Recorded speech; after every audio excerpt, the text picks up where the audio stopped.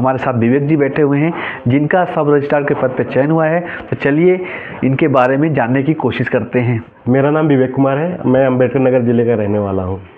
और मेरा अभी यूपी पी एस दो सब रजिस्ट्रार की पोस्ट पर सिलेक्शन हुआ है। और इसमें ढे ढे पी का बहुत ही सहयोग रहा है। जिसकी टेस्ट सीरीज़ और मॉक इंटरव्यू मेंस की टेस्ट सीरीज़ बहुत ही उपयोग उपयोगी सिद्ध हुई थी। अभी विवेक जी से बात हो रही थी तो कह रहे थे कि सर रब सब रजिस्ट्रार का एक ही पोस्ट था और वो हमने ले ली।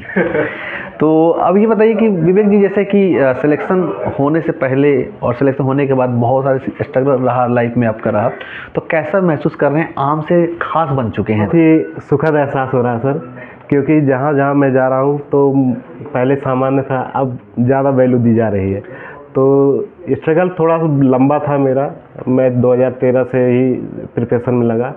2016, 17, 18 का मैंने मेंस दिया लेकिन किन्हीं कारणों से मेंस क्लियर नहीं हो पाया। आ, फिर उसके बाद डिप्रेशन में भी मैं गया फिर लेकिन घर वालों के सपोर्ट से परिवार के सपोर्ट से फिर मैं एक बार DU के लिए भी इनरोल किया एलएलबी के लिए और मेरा उसमें एडमिशन हुआ। एडमिशन होने के बाद मैं एलएलबी करता रहा, साथ में पी या यू पी एस सी की तैयारी भी जारी रखी। लेकिन जहाँ तक फिर बाईस मेरा कंप्लीट हुआ, तेईस में मुझे फिर फ्री का मौका देने का मिला और फ्री में मेरा सिलेक्शन हुआ। फिर आप लोगों की गाइडेंस में फिर मेंस में फाइनली सेलेक्ट सेलेक्ट हुआ। अब फाइनल इंटरव्यू के बाद धे के इंटरव्यू का पैनल बहुत ही अच्छा होता है, जो आपको गाइड करते हैं। उस गाइडेंस में मुझे बहुत सहयोग मिला। जिसके कारण मैं आज फाइनली सिलेक्ट हो पाया। और मेरा सिलेक्शन सब रजिस्ट्रार पोस्ट पे हुआ और मेरी रैंक 19 थी। तो विवेक जैसे कि अभी जैसे दो सत्रह मार्च को भी एग्ज़ाम है तो अभी एग्ज़ाम सत्रह मार्च को तो देना ही है रैंक इम्प्रूवमेंट के लिए।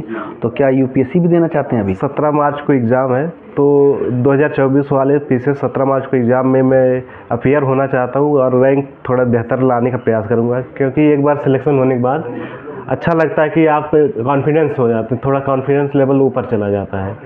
और जब मेरा ये सिलेक्शन हो गया तो मुझे उस दिन लगा कि मुझे एक बार आई जम के देना चाहिए, क्योंकि मेरा ड्रीम रहा कि यूपीएससी यूपीएससी क्रैक करना मेरा ड्रीम रहा है। तो मैं यही चाहूँगा कि इस, इस बार ढंग से लग के U P S C clear करूँ। तो हमारे साथ विवेक जी आए थे और आप देख ही रहे हैं कि सब रजिस्ट्रार के पद पे चयन होने के बाद ये बहुत खुश हैं और इसी तरीके से और भी बच्चे जो भी सिलेक्ट हो चुके हैं उनका इंटरव्यू जारी रहेगा हमारा। धन्यवाद।